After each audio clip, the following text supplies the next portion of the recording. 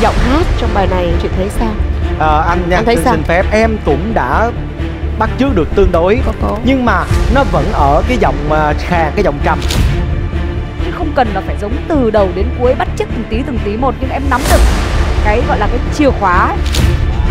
và em em cứ bám chặt lấy cái phần đó. Bây giờ thì em phải xin lỗi chị Mỹ Linh. Là lần này em phải đứng về phía anh Đại Nghĩa rồi. Em không thể đứng về phía chị được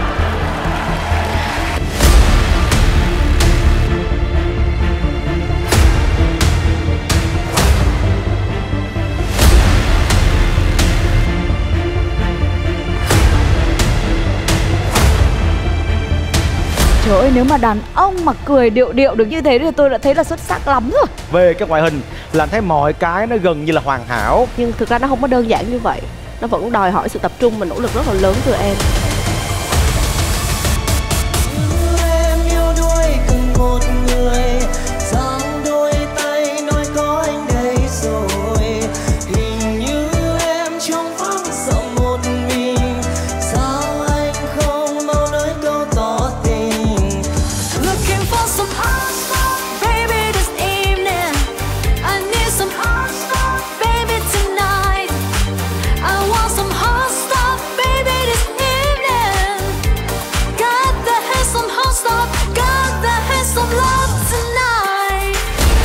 em là một ẩn số của chương trình và càng vào sâu càng đáng gờm.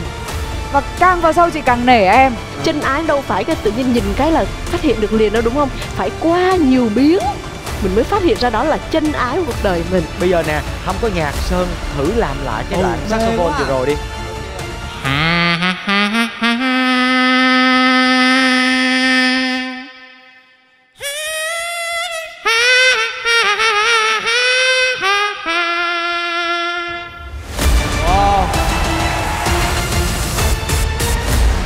Lùng boy á anh. À tức là cắn cái môi rồi còn còn cái này là bị lỡ miệng